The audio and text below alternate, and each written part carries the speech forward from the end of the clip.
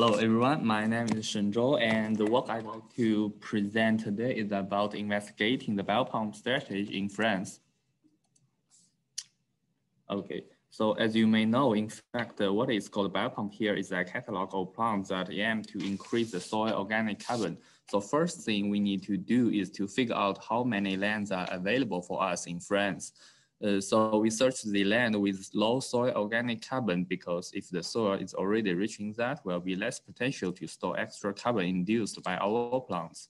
At the beginning, we search the land with stock lower than 40 ton per hectare from the database. There are 23 types of lands in France. Of course, we won't destroy our city to plant biopumps and we don't want to compete with food and we have to exclude the types that obviously not suitable for planting like rock.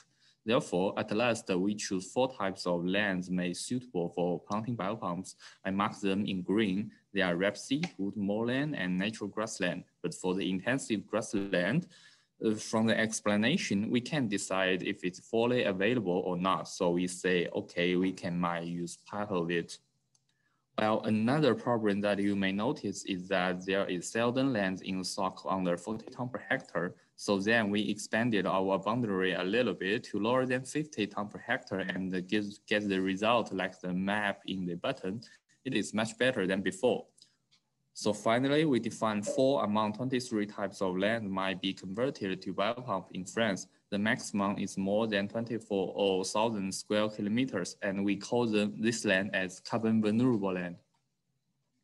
Now, let me explain what is biopump here as my PhD project aims to find a way to remove CO2 in the atmosphere and lower the carbon involved in our economy at the same time, biopump is a strategy that we propose to achieve this challenge. Biopump is a type of pump which could capture CO2 from the atmosphere and then store part of the captured carbon in the soil from uh, for the soil in the harvestable part like straw, we will use it to produce the bio-based product to keep this part of the carbon in the atmosphere, so to postpone the carbon emits back to the air. Here, we screen plants that could increase the stock from the references we want to mention a paper written, uh, written by Ledo in Scientific Data. It provides a very comprehensive database for perennial plants stock situation, aggregating thousands of measurement results. And then, according to these references, we summarize some criteria for selecting biopump. First of all, as we want to stock the carbon in the soil, the predominant factor is that if a plant could increase the stock or not. Uh, I won't expand too much on this as my colleague Ahian will introduce them in detail in the next presentation. In a world, we search the biopump candidate for references from references, uh, rate them in different criteria and score. After adding all scores together, we get a biopump rank. Uh, here, we choose two plants to be further investigated, black locust and hemp, on behalf of perennial and annual plant respectively and the, because they behave well in our rank. So one is annual, one is perennial, one is grass, one is wood. We can compare these two kind of plants, know their pros and cons. Plants has what kind of parameters is more better for our target, and we'll use the life cycle assessment to achieve that. Here is the process diagram. I take hemp as an example we adopt the full life cycle assessment beginning from cradle to grave. First, we cultivate the hemp and then harvest it. After harvesting, we need retting to loosen the straw to extract the fiber easily. After we get the fiber, we design two produce way to get the car side panel and thermal insulation. They are different in lifetime. Thermal insulation is designed to be used for more than 40 years and the car panel is 20 square, uh, 20,000 kilometer which is equal to 15 to 10 years. So it is, this is another way to compare the results between the same material but different products to explore the inference from producing.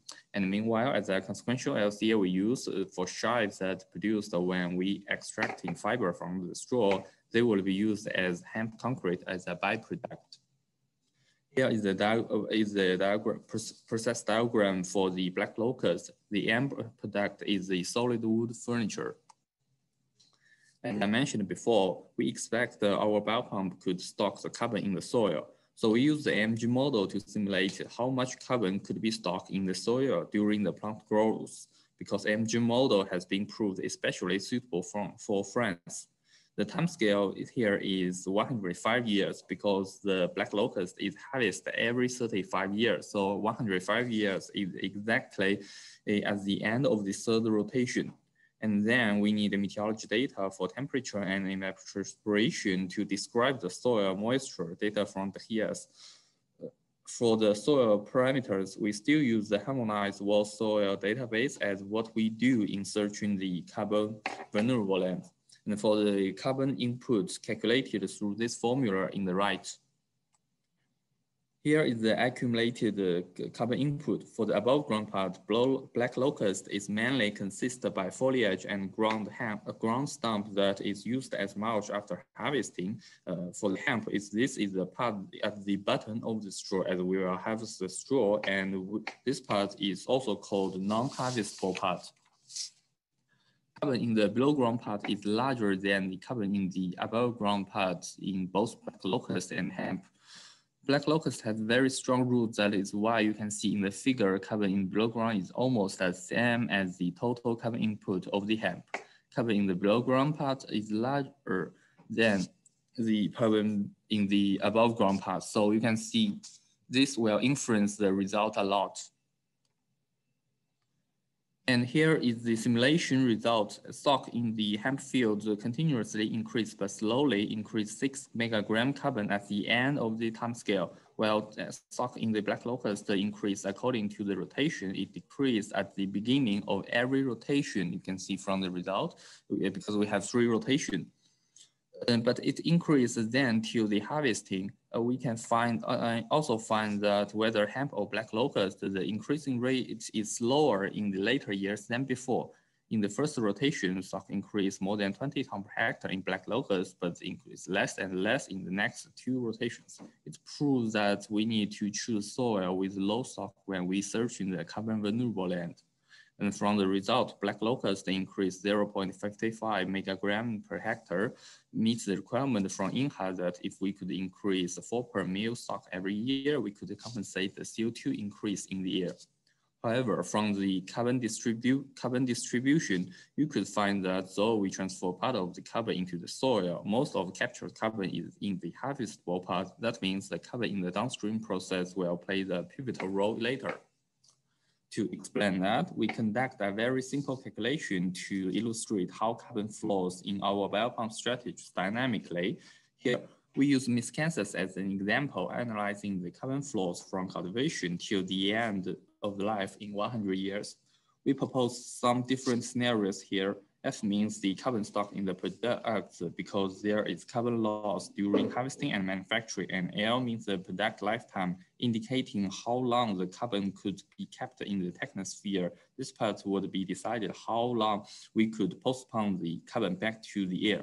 And here are two extreme examples. One product gets 100% of the carbon and have 100 years lifetime. It's very, very long. And the other has only one year's lifetime.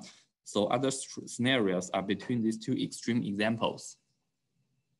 We analyzed the carbon CO2 flows and the global warming temperature change from 2020 to the end of this century.